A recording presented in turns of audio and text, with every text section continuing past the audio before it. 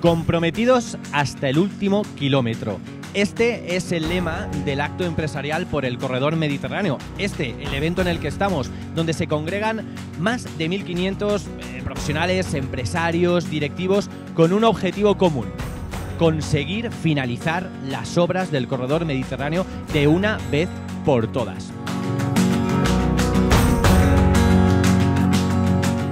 Estoy con Mónica Carrillo, que se va a encargar de la presentación de este acto empresarial por el corredor mediterráneo. Vas a convertirte en una especie de presentadora de late night. Sí, sí, sí. Bueno, cambio un poco de registro y además por un motivo que lo merece. Yo soy de Elche, con lo cual estoy muy involucrada con este tema del corredor.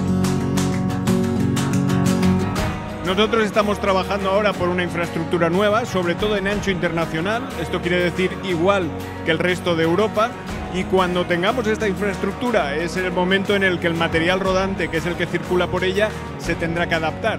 Y en ese momento veremos que tanto la infraestructura como el material rodante estarán a la altura de lo que queremos.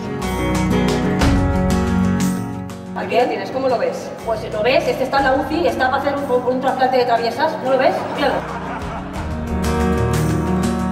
el corredor mediterráneo es una herramienta para conectar regiones de forma sostenible y está muy alineado con las políticas de la Comisión Europea y el Tratado de París, que son claves para todo el planeta, al fin y al cabo.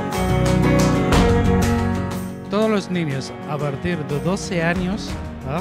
ya están viajando, es el futuro turista. Y cuanto más movilidad hay y más fácil, o ahora con la entrada en la competencia, se va a abrir más el AVE para otras empresas a nivel nacional o internacional, eso es una oportunidad, no hay que perderla, por supuesto. Mediterráneo hablamos de conectar al 50% de la población.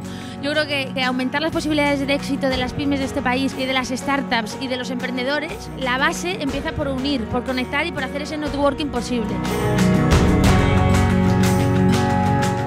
siempre estamos viajando, competiciones, concentraciones, la conectividad para nosotros es, primordial y sobre todo también los tiempos, los tiempos de desplazamiento, todo lo que se pueda acortar pues mejora mucho más eh, nuestro rendimiento, que al final es lo importante y es con lo que, con lo que nos ganamos la vida, ¿no?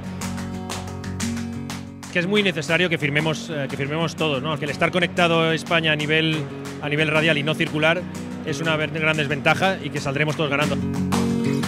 Una reivindicación que, bueno, que no es solo cosa de empresarios, al final es un objetivo del que nos vamos a beneficiar todos.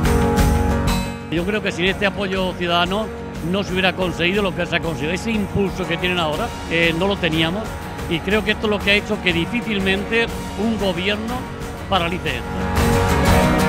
Una cosa importantísima, que todo el mundo siga las redes sociales del Corredor Mediterráneo y el hashtag Quiero Corredor.